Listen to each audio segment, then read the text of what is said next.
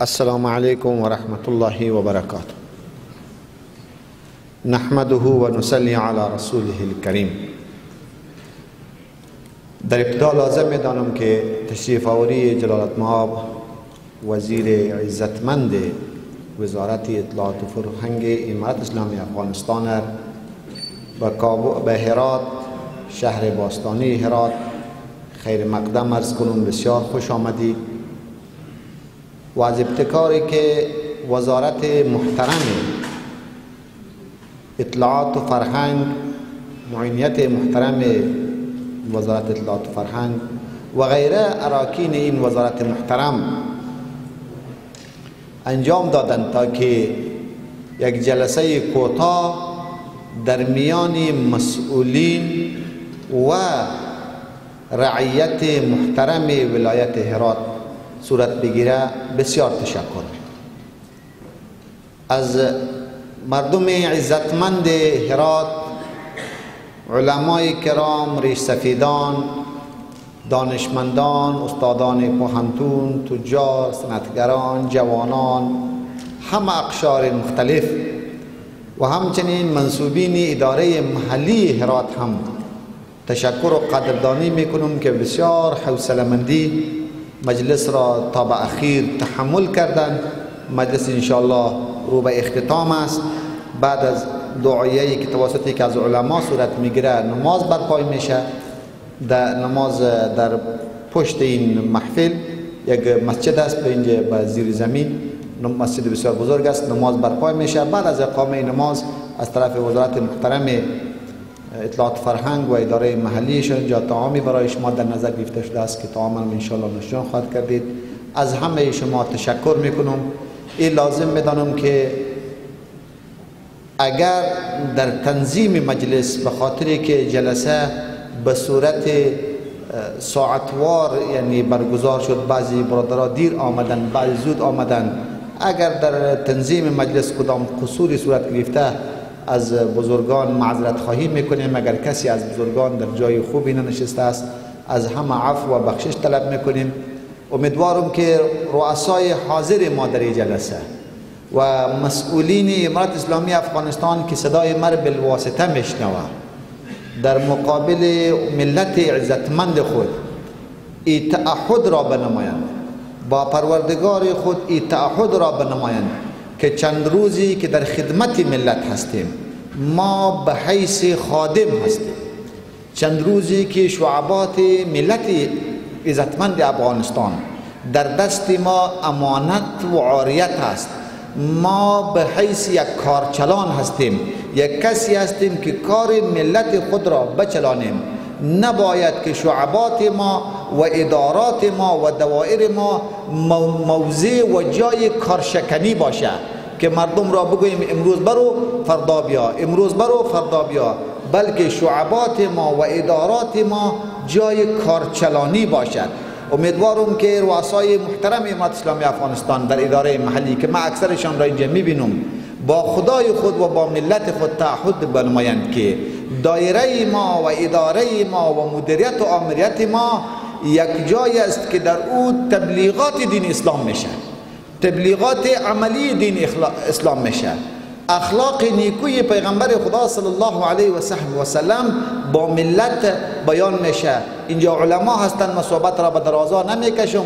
حدیث شریف است که یک اعرابی که او از نظر فکری ساده تر بود پتوی مبارک علیه السلام را بسیار به سختی کش می‌کنه که آثار پتو بر گردن مبارک علیه السلام میفته و صحابه بسیار ناراحت میشن.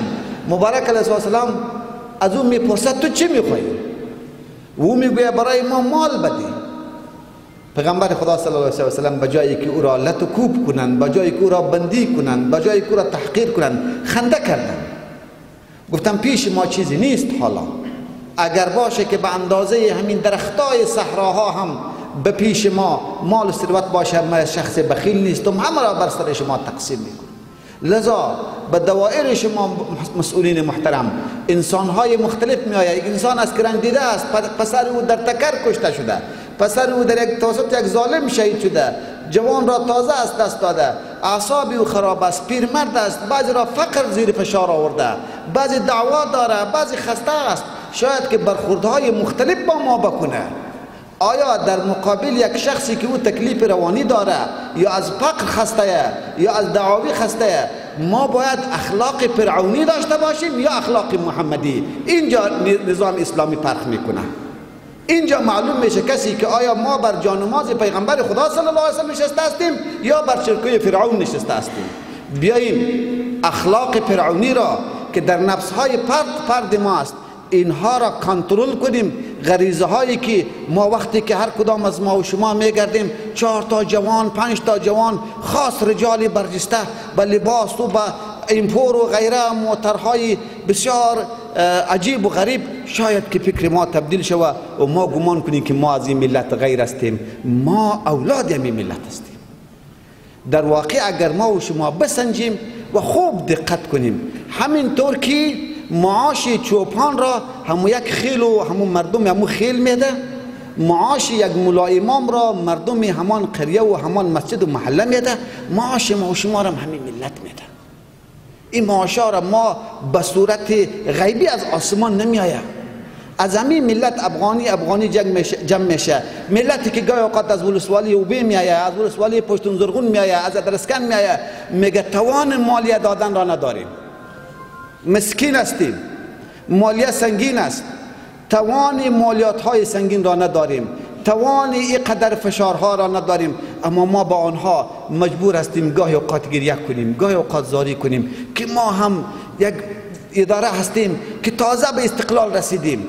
پولای ما و شما را یک ظالما منجمد کرده. مجبور هستیم که به معلم معاش بدیم مجبور هستیم که به عسکر معاش بدیم مجبور هستیم که به دکتر معاش بدیم مجبور هستیم که به رئیس صاحب معاش بدیم. ولی رئیس صاحب متوجه میشه که معاش ما از این ملت به رقم جمع میشه.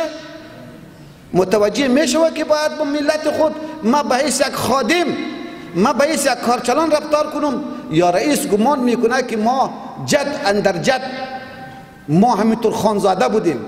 اکثر رؤسای ما علمای کرام هستند. خوب و حدیث شریف را به یاد بیارین که الله جل جلاله سه کس را امتحان کرد به مالهای مختلف. وقتی که این سه کس را از فقر بیرون کرد و آنها را در رأس قدرت آورد باز ملک آمد برایشان گفت که ما مسکین هستم. آنها می‌گفتند که حقوق فراوان است و مشکلات ها زیاد است. او شخص برایش گفت به یاد تو نیست که تو یک وقت مسکین بودی؟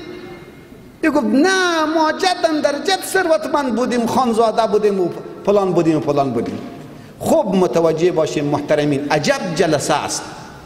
عجب اسم خوبی را گذاشتن.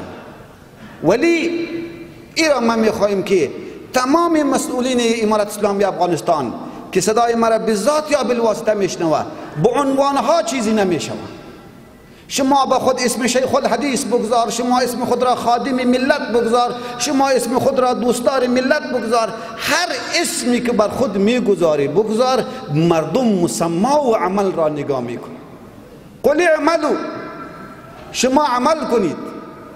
فسیر الله عملكم و رسوله والمؤمنون. شما عمل کنید. خدا اعمال شما را می‌بیند که شما چطور عمل می‌کنید؟ رسول خدا اعمال شما را می‌بیند که شما چطور عمل می‌کنید؟ در زمان حیات رسول خدا و مسلمان ها جامعه عمل کرد شما در مقابل ملت خود را می‌بیند. چقدر احادیث شدید آمده به کسی که دروازه های خود را بر ملت خود بسته می‌کنه چقدر آیات شدید آمده بر کسی که تطفیف می‌کنه مفتی شفیع رحمت الله تعالی علیه میفرماید که تطفیف تنها در معاملات نمیشه که ما ترازو غیره را به هم بزنیم. همین هم تطفیف است که دیر بیاییم زود برویم. ما از هر مسئولی امارت اسلامی افغانستان می‌خواهیم که سیرت فاروق اعظم را مطالعه کنه. سیرت عمر ابن عبدالعزیز را مطالعه کنه. سیره صلاح الدین ایوبی را مطالعه کنه. اینا خو هم انسان ها بودن. اینا چطور زندگی می‌کردن؟ شماها اکثر علما بروی منبر برای مردم می‌گویید که فاروق اعظم نیمه شب خبر شد که در گوشه مدینه منوره یتیم های هستند باز بار بیت المال را به دوش خود بکشید پس معلوم است که فاروق اعظم به سه و نیم بیجه کار تعطیل معلوم است که فاروق اعظم خاص رسمیت نداشتن 24 ساعته در خدمت ملت بودن همینطور که خلفای ما سلف صالحین ما 24 ساعته در خدمت ملت خود بودند. باید هر مسئول اگر شب است اگر روز است نگوید که امروز جمعه است. امروز رسمیات است امروز وقت منظره ما است امروز وقت مجلس ما است.